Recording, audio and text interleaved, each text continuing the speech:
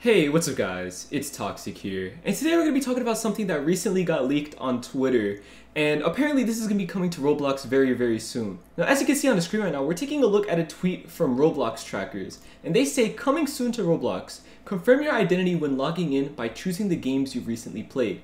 And they attached a video to this tweet as well. So this is the video that they uploaded to Twitter, as you can see here. We're just going to take a look at it, and you can see that they're signing into Roblox right now, and like they said, there's going to be a pop-up, as you can see right here, where they ask people to confirm their identity and they just have a list of games that people have to select. And I know it's probably really hard to read the text because that's just how Twitter is for some reason. The video quality is just terrible for some reason. So I'm not sure if the text is even going to be legible in the video, but it says which of these games have you played in the last 7 days, select all that apply. And then down here it says to keep your account secure, please verify your identity. That was extremely hard to read. And below all of that text, you can see that there's 6 games listed here, and basically you just have to select which ones you've played in the last week and then you click confirm and then you would be able to log in. Now they did add more information to that tweet twice and the first tweet that they added with more information says, side note, we don't know exactly how many games will be shown. We chose 6 as it seemed to fit the UI nicely, however the actual amount is unknown. So as of right now, it could be more than 6 or less than 6 games that are listed,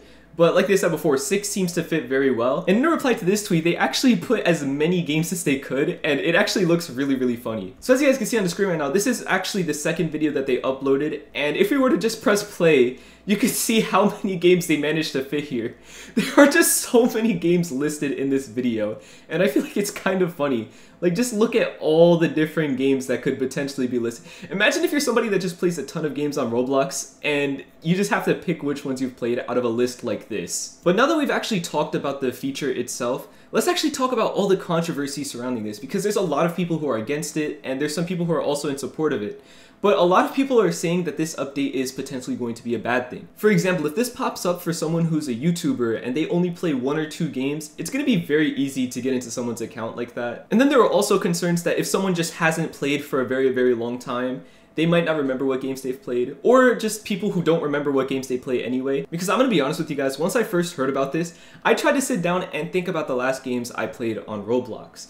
And at that point, I literally had played Roblox maybe 12 hours ago, maybe a little bit more than that. But point being, it literally wasn't like a month or two ago. It was extremely recent. And I honestly had a really hard time trying to remember what games I had recently played. So obviously the concern that people might forget what games they've recently played is definitely a valid one. And I feel like this isn't a very secure way to verify your identity anyway, because a lot of people have their joins on and if you have your joins on, you can see what games people are playing pretty much anytime by just going to their profile and hovering over the join game button. So if someone wanted to get into a particular account, all they would really have to do in theory is just sit down just stare at their account page for a while, or maybe even make a bot that just writes down all the games that the person has played.